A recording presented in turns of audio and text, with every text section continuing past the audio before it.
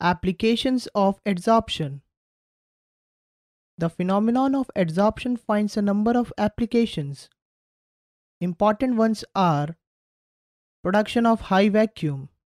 The remaining traces of air can be adsorbed by charcoal from a vessel evacuated by a vacuum pump to give a very high vacuum. Gas mask.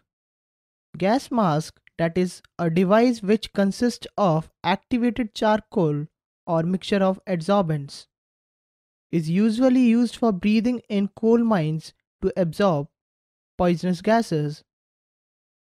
Control of humidity. Silica and aluminium gels are used as absorbents for removing moisture and controlling humidity. Removal of coloring matter from solutions. Animal charcoal removes colors of solution by adsorbing colored impurities. Separation of inert gases. Due to the difference in degree of adsorption of gases by charcoal, a mixture of noble gases can be separated by adsorption on coconut charcoal at different temperatures. Froth flotation process.